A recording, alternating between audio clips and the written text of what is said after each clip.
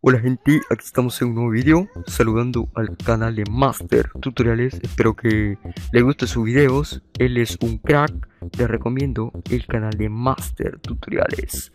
¿Quieres que la tecnología sea divertida? Entra a Master Tutoriales. Hola, ¿qué tal amigos de YouTube? Bueno, pues les habla Master Tutoriales.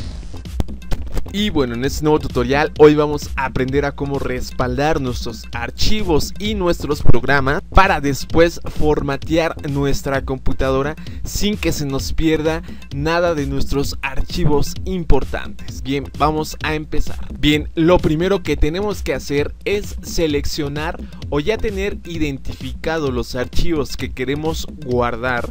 Pueden ser fotos, música, documentos o videos, cualquier cosa que tengamos nosotros vamos a guardarlo. Una vez que ya lo tenemos seleccionado, tenemos varias opciones para guardarlo. Tenemos varias opciones para guardar nuestros documentos, para hacer nuestro respaldo. Puede ser un disco duro externo, una memoria USB, un DVD o subirlos a internet. En este caso, pues eh, el disco externo y la memoria USB son del mismo caso. Simplemente das clic derecho y lo puedes enviar directamente desde aquí a tu memoria USB. O si lo prefieres, eh, también puedes quemarlo en un disco. Simplemente abres el DVD y de igual manera los pegas en el DVD. También puedes subirlo a internet. Eh, yo recomiendo a Mega. Este es un servidor donde ustedes pueden subir sus archivos. Simplemente lo que tienen que hacer es irse a la página oficial que es mega.co.nz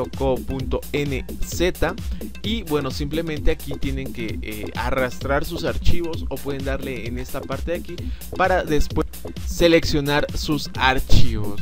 Para respaldar los programas es necesario contar con el instalador ya que de otra manera es imposible. No podemos copiar esos archivos copiarlos y eh, en una USB porque lo que estamos haciendo es copiar el acceso directo que no nos va a servir para la nueva instalación del sistema operativo. Lo que podemos hacer es bajarlos de internet nuevamente.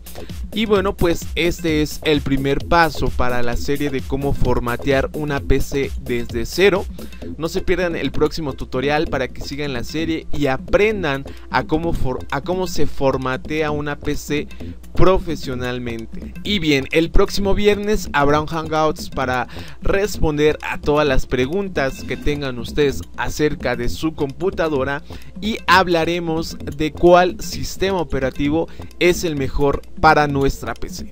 Espero les haya servido este tutorial, les haya gustado. Un saludo a todos y nos vemos hasta un nuevo próximo tutorial. Hasta luego.